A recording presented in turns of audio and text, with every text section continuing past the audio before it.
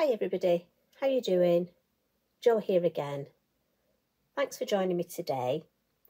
Time we had another little crafty catch up and we're going to do a bit of, well, I was going to say watercolour painting. You know what I'm like. It's my attempt. It's my faux watercolour painting. We're just going to have a play with some um, inks, um, lovely Lavinia stamps. And I really wanted to do a card that could have quite sort of a masculine feel because again and again I keep getting messages and it is always lovely to hear from you. Thank you. But I keep getting messages requesting designs that are suitable for men's cards. So this is what I, I thought we'd have a bit of a play with. Now, I must admit today we're going to be using um, the gorgeous Lavinia watercolour card. Now, this is it. Um, I don't know if you've tried this, but it is a fantastic uh, watercolour card. It's hot pressed and it's lovely and smooth, so it's perfect for stamping on. And I've got to be honest, since I started using it, I haven't used any other, and, and that's just me being honest. Um, as you know, I love to um, yeah mess about with inks and water. Um, so now on this one, I actually, the design, it's on a seven by seven card blank and my piece of watercolour card is five and a half inches by five and a half inches. But I did wonder if it would look nicer with a larger frame. So the actual one I'm going to have a go at creating where we're live together is I've got a seven by seven card, uh, piece of watercolour card, and I'm going to put that on an eight by eight card blank. I know you like to know the sizes. So I've got my envelope here, look, ready, stamped with our Bogart or Bogart. Do you think, which, what do you think, how do you think you pronounce it? I'm no good with pronunciations. It's lovely we get the names, but I almost need Tracey to do me a little um, voice notes telling me how to pronounce it. So um, Bogart sounds nicer, doesn't it? But anyway, our little chap and I've put him on the front look. I just think, again, remember, if you stamp your envelopes up, um, permanent ink, it's the VersaFine Clair, I, I just think that really adds to the, the, the design. I can't speak, can I? So, as I say, we're going to just do a larger size. This is the original, and again, that was five and a half inches.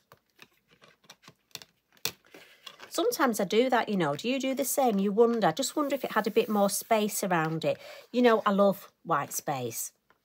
So what we'll do, as I say, this is the watercolour card. Now, it is um, sort of a creamy colour, but don't worry. I mean, I still think it looks lovely matted onto a white card blank. So, and I've, the first thing I've done is run my Sharpie line round.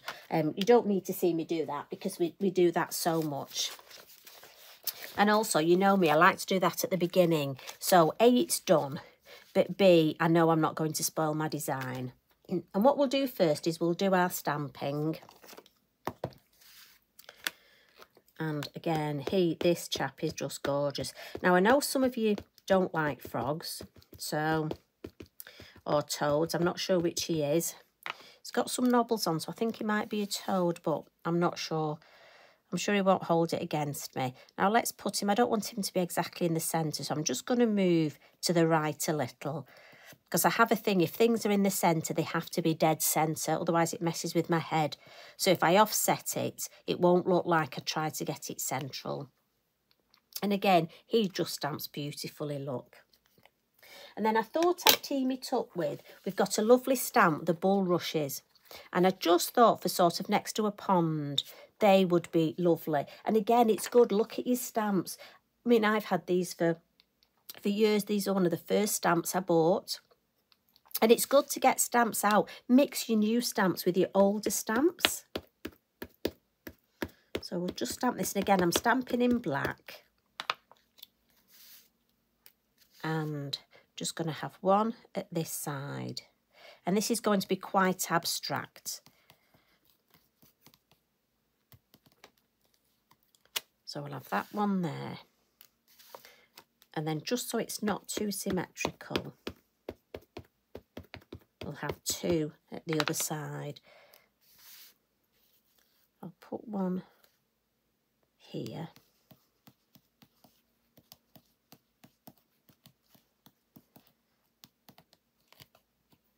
And then just stamp the next one. I only want the top of the next one. So I'm just bringing a well-used look piece of copy paper and I'm just going to angle that a little bit, just a bit lower I think, and put that there. Yeah. And that's all the stamping I'm going to do to start off with.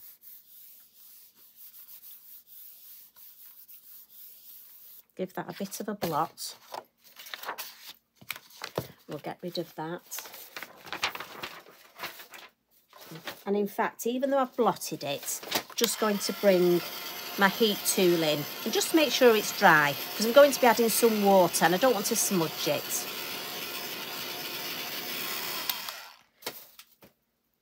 Now, this is where the fun starts. So I've got some of my Elements inks, ink pads and I'm going to use a combination of colours. I'm going to be using graphite is perfect. Do you know what? If there's one colour I would recommend to everybody, it's graphite. It's one of those colours, I always call it an unsexy colour. It's not the one you're going to, when you look at all the colours, that's going to jump out. But you know what? I use this so much and it's perfect for adding shade. And you can blend it with any of your other colours to make them slightly deeper. So, graphite. We're going to use the russet orange just a little. The main colours we're going to be using is the Della Blue and the Blue Lagoon. And that's going to be for our um, water. Then we're going to come in with a little bit of lime punch mm, and Bermuda for our little frog. And all we're going to do is put some of this. So we'll add some Della Blue and then some Blue Lagoon just onto my mat, straight onto my mat. And then what I'm going to do is with my Lavinia brush, and this is my watercolour brush, and this one's the half one. It's quite a nice, um, good brush, good size. I'm just going to add some water straight to my watercolour card, just around Monsieur Frog here. Now, you could mask him off, you could use masking fluid, but I'm just going to go straight for it. And I'm going to add some here to the bulrushes just to underneath where they finish and then just a tiny sort of like trickle here. I don't want too much there. Then I'm going to come in with the lighter colour. Now, which can you remember which was the lighter colour? I think it was the top one, wasn't it? The Della Blue. and we'll just go, we'll say the waterline is about here. And again, this is a very loose technique. So I don't want to cover the whole area. I want to leave some white and I'm doing wet on wet. So all that means is I'm adding wet ink and water onto wet card. And we'll add a little bit just down here. And as I say, that's my nice light colour first. And we'll just go for a little bit. This is roughly going to be my sky. I'm not going to cover the whole thing. Can you see? Yeah, so I'm just roughly covering this area. And again, I'm dabbing. I'm just dabbing because I want to give it quite a loose sort of feel. That the sky, the water, it's all very, as I say, very loose, very natural. And then we'll come in with the darker colour, the Blue Lagoon. And we'll just add a little bit round here. And I'm just going to add Again, wet on wet and just let those colours blend. And let's just see how they go. And then we'll add some in the sky.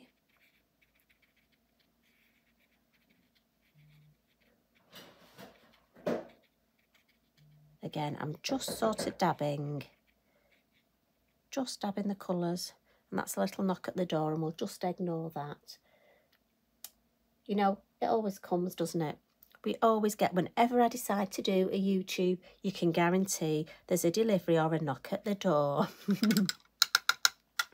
now, we just want to add some clouds in the sky. So if you remember, if we take a piece of kitchen towel and just scrump it up, and that's just going to take that water and that ink and absorb it, and it'll give us a shape like a cloud. So we'll just have another one here. And this is very forgiving. If you didn't like the way that it had worked, you can take your water and ink and you can add some more, look, over the top. So we'll add some more there and we'll just make another sort of cloud shape and we'll press that down. So don't be hard on yourself. Just have fun. And I think the thing with this type of design is just have fun. So again, we've got that lovely cloud shape there. And what I want to do is add a little bit of orange to the sky. I'm just going to add some of the russet orange. Now you can add drips if you want to add drips, look. Or if there's an area that you think is too wet, you can just dry that up with your kitchen towel. And again, you get these lovely shapes. I mean, look at that. Just looks like wispy clouds. Can you see how it's starting to look? And again, just have fun and experiment. Now, I know we haven't got a definite line between the sky.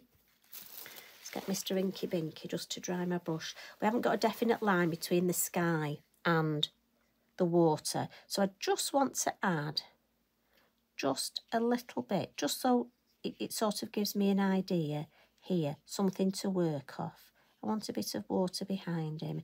There we go. And that just gives me a better, better idea. Right, so I'm just going to clean my brush. Now, as I say, if any of you are watching this and you are watercolour trained artists um, or mixed media artists, I know our Lisa is absolutely fabulous. Um, please excuse me, like I say, I don't know anything about watercolour apart from the fact I just love using inks and water. So, and I need to make that clear because I don't want you thinking I'm trying to teach you something that I don't know anything about because, you know, I just play. And for me, it's all about just playing and getting a nice design. Now I just want to add a little bit of yellow to the sky. And as you have the colour in the sky, it will be reflected in the water. So we'll just, but you have to watch because obviously I'm using an orange and orange, you know, yellow and blue makes green. So I don't want it to go green. So I'm just going to add a little bit of the orange. And then what I'll do is just dab it with my kitchen towel just to dry it a little. So again, we've got that reflection of the colour without going too much. And we'll just add a little bit here. And like I said, I don't want it to go too, too green. I just want that idea of the reflection. Oh, took a bit much off there. But like I say, look, if you take too much off, just come back in. The, this card, as I keep saying, is so forgiving. And you can just play. And the thing is, you know, really have had so many messages of people that the mojo's gone. And this is just such a lovely way to play and be creative and have fun. And honestly, it is just as easy as this. And what I will do now is let's have some graphite. And again, this is lovely because it all goes straight on my mat. And I just want to come in and I'm going for a, let's go for the next size brush. So which one's this? This is number six. And we'll just come in with a little bit of graphite and we'll just add a little bit of graphite here, sort of under the bulrushes and a bit here, sort of ground them. Now I know they're in water, but obviously it will be darker around them. Now if you want, you can mix your blue in with your graphite and as I say, it will give you a darker blue. So we want a bit of shade round our frog. So again, we can come in just add a bit of shade. And then let's come in some of these blue areas and just add a bit of shade. And that will just help to build up. You want to keep some of the white areas but just by adding some darker it will just help to build up that idea of, of the water And again, I'm just sort of dabbing and letting it all blend. Can add some there, look. And here, I want to keep the white area underneath, but I'm just going to darken this area here.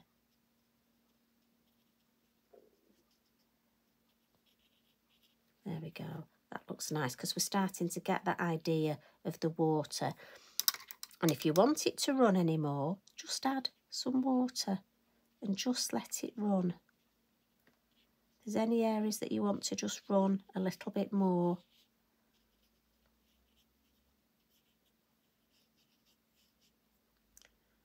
Right, we'll just come in again, just reinforce our horizon line there.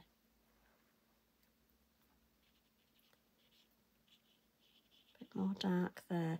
And then what I am going to do is with my blue, just going to add some splats here. Now again, if you're not a fan of the splats, you can leave these off. You know me, like a good splat. And I'm just going to go in opposite corners. And while I've got the ink, I'm going to come in with my card blank because I like to run it across. And I'll just add some in this corner here.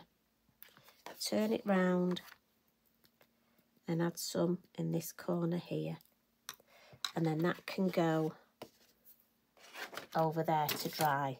Now, if I bring the finished one in, just to remind you, so this was how the splats, how it ties it all together. As I say, if you're not a fan of them, you don't have to add them.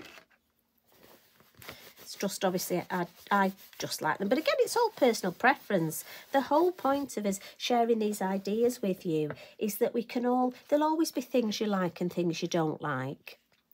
That's what I love about workshops because you get to try things. And it's like by watching, you know, these YouTube videos. Tracey and the rest of the design team, we just come in to give you as many ideas as we can. And, you know, we know you're not going to like them all. And this is where you can pick and choose and just see how you feel. I mean, I'm just going to use my heat gun just to, normally I would let this dry naturally. It would look better, but just for the purposes of us today. But while I'm talking, so I'll just dry it off a little bit. But like I say, you'll be able to watch and decide what designs you like, what designs you don't like. And we really don't expect you to like everything. But it's so nice. It, it might even just give you an idea how to do something a little bit different.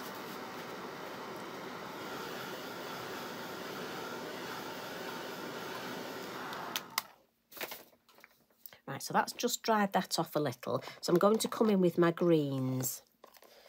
So we'll have some lime punch up here. And I tend to use the upper part of my ink pad so I don't get much ink on my mat because I'm very stingy and I don't like to use much of my ink. And again, we'll come in with the lighter colour, this lovely, oh, it's lime punch. It really is zesty. And I'm just going to and this is the smaller of the paintbrush. This is my favourite. This is number one. And I'm going to try and do this and not bring my head over the camera. So I do apologise if the top of my head suddenly comes in shot. And I'm going to paint him with that light green. But then I'm going to mix, and these inks, oh, they just mix beautifully. Blend a little bit of the dark green in down here, look, where we'll have shade. We'll just come round here. And again, you're building up. We're going to almost give him a bit more character. And I always think he's going to have a bit of shade on his nose here, look.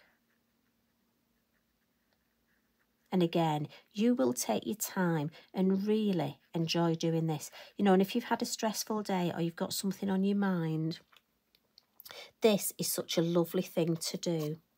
Now, I need a bit more grey. And this is where, like I keep saying, your graphite will just come in again and again. And I'm just going to mix a little bit of the graphite with water. And again, just bring it at the base here, look. And you'll see how with the the green and the graphite, again, we're just building up, giving him, and just under his eye, look, you're just giving him a bit more sort of 3D detail, a bit more depth. And then with that graphite, we'll just add a little bit more around him.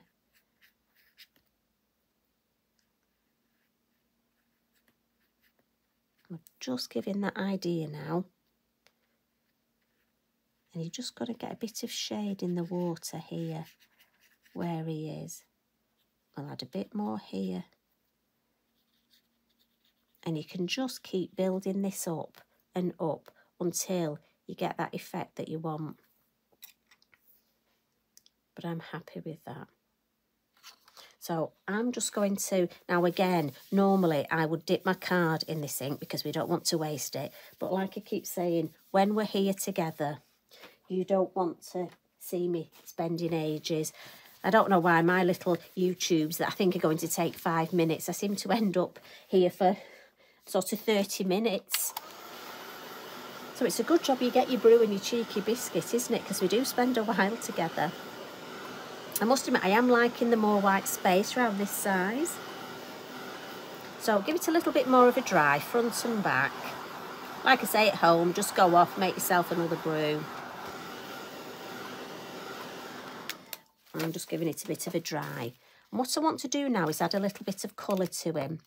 And I'm going to bring in my um, gel pens, the Signo pens. Now, these are absolutely brilliant. And I'm just going to colour these little nodule bits here. And I'm just going to randomly, we'll have some green and there's a lovely violet. So let's just have a couple, maybe a little one there. I like this bronze colour. Maybe have a, a couple bronze and then gold. And I just find these add sparkle, but for any delicate little bits. And that just gives him, look at him, he's so cute. and what we want to do now is just add a little bit, um, just checking how dry it is. As I say, normally we'd wait till it was properly dry. And we're just going to come in with our chalk pastel pencils and just going to emphasise things a little bit. So in the sky, if you want to just emphasise the orange, say, I'm going to come in and I've just got a little stump here so you can use your fingers or you can use your, your, your stump or your biodegradable um, cotton bud and that just emphasises that and again if I want to emphasise a little bit in the water look maybe just on the horizon there would just come in. And it's these little finishing tricks and again I keep saying this but you will take longer at home and just make but you see how that just depth there just wants a bit more there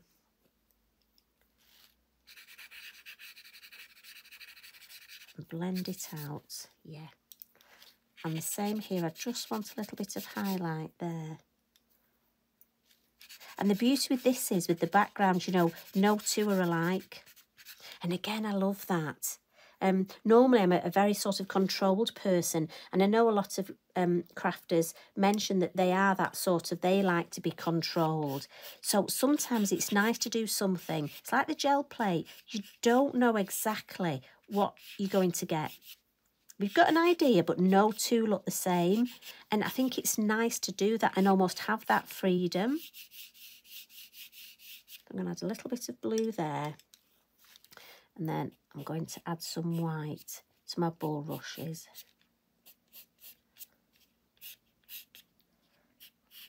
And the same with these just to highlight on the black. Now again, my card isn't quite dry. You'll wait until yours is properly dry. If you want to add any white into the cloud area, again, just add that and blend. Must admit, I like that cloud. I don't think I'll want to add any there. I love the way that's gone. But what I am going to do with my black is just add a bit more shade here. And the same around the base of the bulrushes.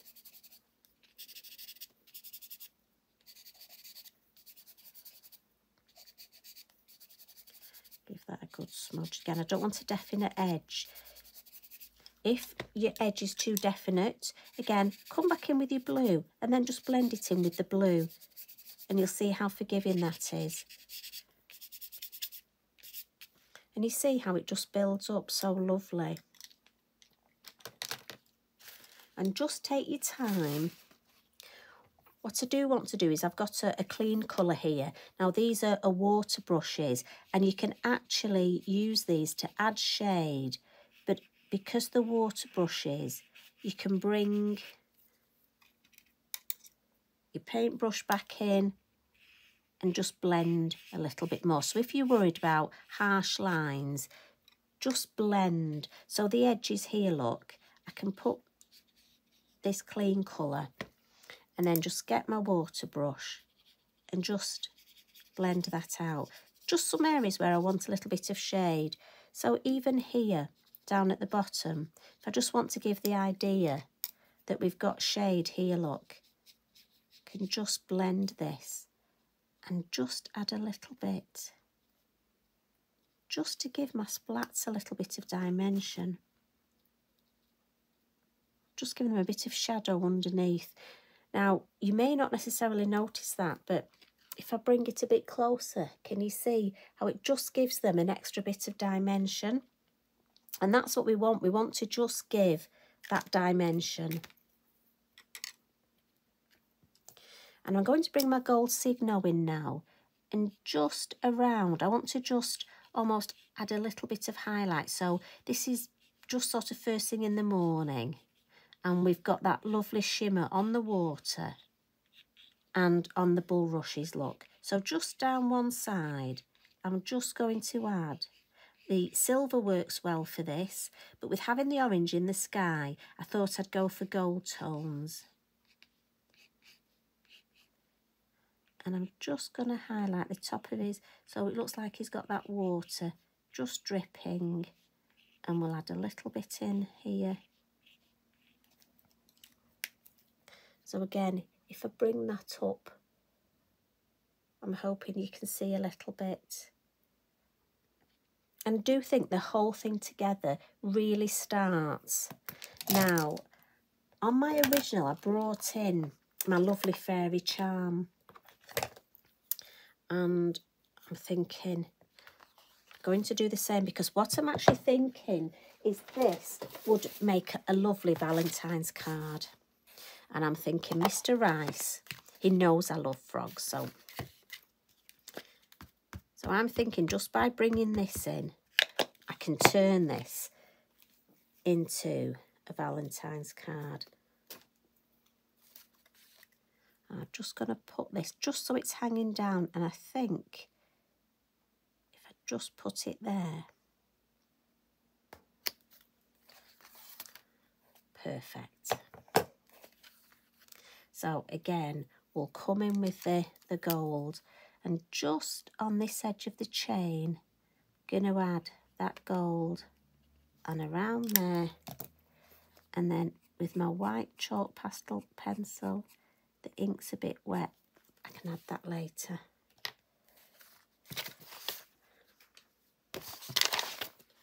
But it's just lovely the way this builds up I do think it's such a such a lovely effect and then just to finish off with, I want to add some more white highlights. Now, you could use your, your white gel pen.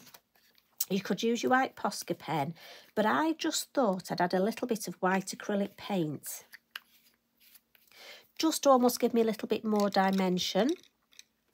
So, back in with my, my paintbrush. And so on the heart, look, we'll just add a tiny and just on my bulrushes at the top. And it just gives me another layer, another dimension. So I've got the white chalk pastel pencil, but then I've also got a little highlight of my white paint. And I'm just gently brushing it on. So again, we can add some round here. Just, and I don't want to overcook it, but just to give the idea. Now, if you've got glossy accents, they look lovely when added to the water. There's all sorts of things you can use. And again, it's all about using what you've got in your stash and mixing and matching what you've got in your stash. And what I want to do here is see if I've got any areas, look, where I can add a bit of white highlight to it.